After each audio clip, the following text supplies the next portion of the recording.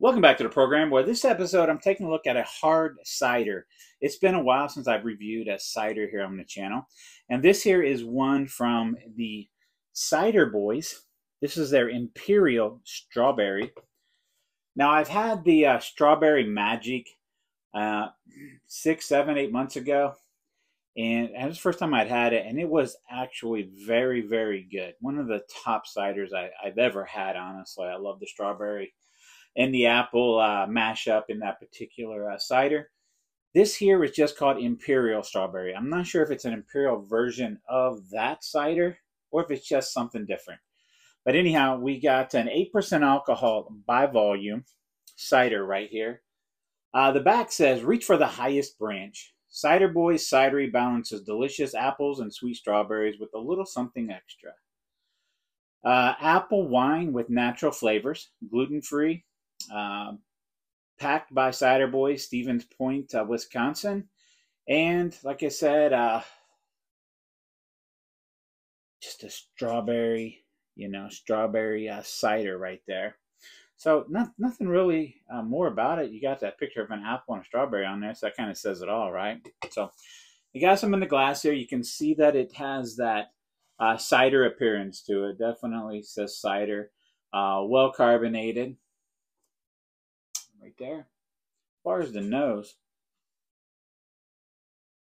it's just sweet, very sweet strawberry, apple.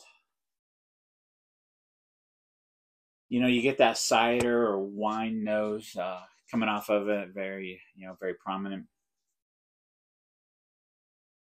Overall, it smells just kind of like a, you know, a strawberry apple, um, you know, cider. So let's get a drink on it.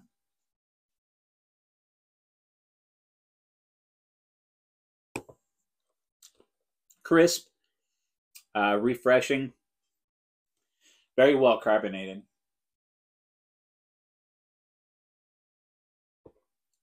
So you get lots of strawberry, lots of apple.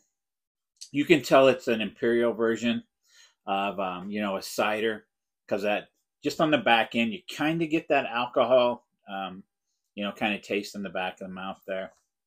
No burning or anything like that. It's eight percent. Um, but you can tell it's it's a little stronger than your typical cider. With that being said, it's not crazy um, on the booziness. Therefore, at eight percent on a hot day, these things pulling them out of the cooler full of uh, you know tub full of ice or something like that. Eight percent could get uh, get out of hand pretty quick for some people. Uh, me, I would definitely. Um, this isn't something I could drink a lot of. Uh, you know, it's just it. It does come across. It's got that tart strawberry sweetness. You know that uh, crisp apple flavor. I'm just not sure how many I could actually drink. I could down a couple of them, no problem on a hot day. But um, you had this before. Uh, let me know what you think about it. And uh, remember, like, subscribe, comment and uh, check me out on social media. And thanks for watching.